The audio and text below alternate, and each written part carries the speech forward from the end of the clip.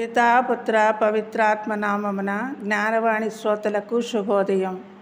ప్రియ సహోదరి సహోదరులారా ఈనాటి దివ్యగ్రంథ పఠనం మత్తయు ఆరు ఏడు పదిహేనులో ప్రార్థన ఎలా చేయాలని యేసు ప్రభు తన శిష్యులకు పరలోక జపమును నేర్పుచున్నారు. స్వయముగా క్రీస్తు ప్రభువే నేర్పించినారు కనుక దీనికి మించిన ప్రార్థన మరి ఒకటి లేదు. ఈ తపస్సు కాలం దేవుడు ప్రసాదించిన గొప్ప అనుగ్రహం అని గ్రహించి ఈనాటి సువిశేష పట్టణాన్ని ధ్యానిస్తున్న మనకు ప్రార్థనా శక్తి ప్రసాదించమని ఆ దేవుని వేడుకుందాం. పరలోక ప్రార్థనలో దేవుణ్ణి తండ్రి అని సంబోధిస్తాడు. ఈ తండ్రి అనే పదం మనకు చనువు పరిచయం ఉండాలని సూచిస్తుంది. ప్రార్థన నిచ్చెన లాంటిది. దాని ద్వారా దేవుని దగ్గరకు ఎక్కిపోతాం. ప్రార్థన మనతో ప్రారంభమైతే దానికి ముగింపునిచ్చేది దేవుడు మాత్రమే. ఇక రెండవ అంశం దేవుని చిత్తానికి లొంగడం. లూక ఆరు పన్నెండులో యేసుప్రభు దేవుని చిత్త ప్రకారం అపోసులను ఎన్నుకునే ముందు లూక తొమ్మిది ముప్పై ఏడులో అద్భుతాలు చేయుటకు ముందు మార్కు పద్నాలుగు ముప్పై రెండు ముప్పై తొమ్మిదిలో శిలువ శ్రమలను అనుభవించే ముందు తండ్రి చిత్తానికి లొంగి ప్రార్థించినారు. ప్రార్థన మోక్షంలోని ఏ గదికైనా తెరవగల అద్భుతమైన తాళపు చెవి. దాని ద్వారా ఏ వరప్రసాదాన్నైనా సాధించవచ్చు. మనము దేవుని చిత్తానికి లొంగి ప్రార్థించాలి. భక్తుడు అన్ని కార్యాలలో దేవుని చిత్తాన్ని తెలుసుకొని ఆ చిత్త ప్రకారం జీవిస్తాడు. ప్రార్థనలో మనకు ఉండవలసిన లక్షణాలు. మార్కు పది నలభై ఏడు నలభై ఎనిమిదిలో భర్తమయ్య కళ్ళు లేని కబోది అయ్యా నన్ను కరుణించని యేసుప్రభుని చూచి అరిచాడు. కానీ చుట్టుప్రక్కల ఉన్న జనం నోరు ముయించాలని చూశారు. కానీ గుడ్డివాడు ఇంకా పెద్దగా నన్ను కరుణించమని బిగ్గరగా అరిచాడు. అతని ప్రార్థనలో విశ్వాసం పట్టుదల ఉంది. కనుకనే ప్రభువు అతనికి చూపు దయచేశాడు. మనం మన భక్తి విశ్వాసాలను పెంచమని దేవుణ్ణి అడుక్కోవాలి. లూక పదిహేడు పదిహేడులో యేసు ప్రభువు పది మంది కుష్ఠరోగులను శుద్ధి చేశాడు. వారిలో సమరీయుడు మాత్రం క్రీస్తు దగ్గరకు తిరిగి వచ్చి వందనాలు చెప్పాడు.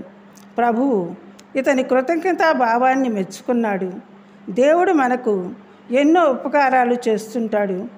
దేవుని దయ వల్ల మనకు ఆ మేలు కలిగిందని గ్రహించి అతన్ని స్థుతించాలి మార్కు పదకొండు ఇరవై ఐదులో మన ప్రార్థన ఫలించాలంటే కొన్ని షరతులు పాటించాలి.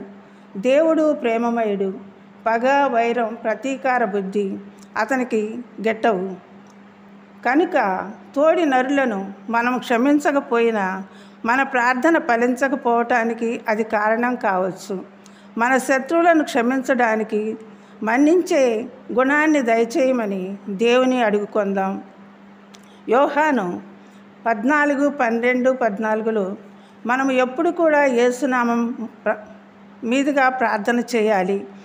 మన మనవి క్రీస్తు ద్వారా తండ్రికి అర్పించాలి.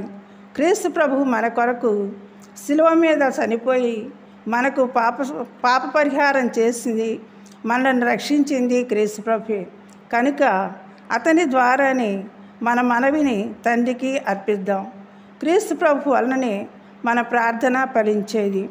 రోమ ఎనిమిది ఇరవై రెండు ఇరవై ఎనిమిదిలో మన చేత ప్రార్థన చేయించే మహాశక్తి ఆత్మ తల్లి తన బిడ్డలకు సహాయం చేసి నడక నేర్పిస్తుంది.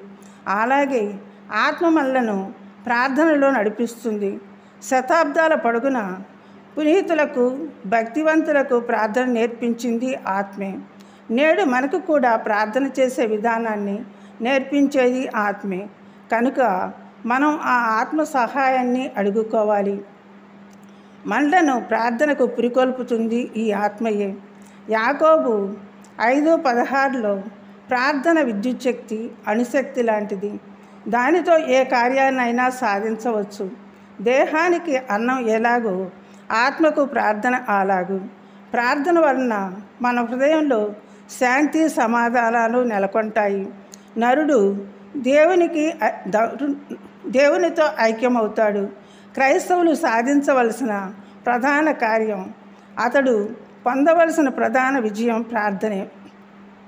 నీతిమంతుని ప్రార్థన మహాశక్తి కలది మనం ఏ విధంగా ప్రార్థన చేసినా దేవుడు ఆలకిస్తాడు. ఏ భాషలోనైనా ఏ వ్యక్తి అయినా ప్రార్థన చేయవచ్చు. కానీ అది పది మందికి మేలు చేసే విధంగా ప్రార్థన చేయాలి. ఉదాహరణకు ఆదికాండం పద్దెనిమిది పదహారు ముప్పై మూడులో సోదమ గుమ్మర్ర ప్రజల తరపున అబ్రహాము వేడుకోలు. నిర్గమకాండం ఐదు ఇరవై రెండు ఇరవై మూడులో ఇజ్రాయేలు తరపున మోషే ప్రార్థన. సమస్త మానవాళి క్షమాగుణం అలవర్చుకునేలా ఒకరి తప్పులు మరొకరు క్షమించుకునేలా ప్రార్థన చేయాలి. ప్రార్థన చేసే ముందు పశ్చాత్తాప క్రియ ప్రధానం. మా తప్పులను క్షమించండి ప్రభు అని ప్రభుని శరణు అడగాలి. మన మనవులు అంగీకరించాలంటే మనలో ఉన్న పాపపు గోడలు తీసివేయాలి. పితా పుత్ర పవిత్రాత్మ నామమున